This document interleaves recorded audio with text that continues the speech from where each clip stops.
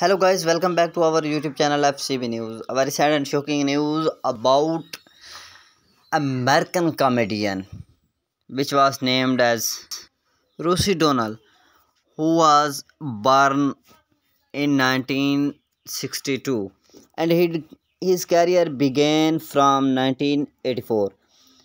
For a short term he noted him and in the industry of film and he she gathered very very wealth and uh, career his star. But recently this news is coming out and uh, that Rosie O'Donnell passed away recently by an road accident. Is this true? For more detail please subscribe our channel. And this news is mourning on the death of the Rosie O'Donnell. Thanks for watching. Goodbye. Take care.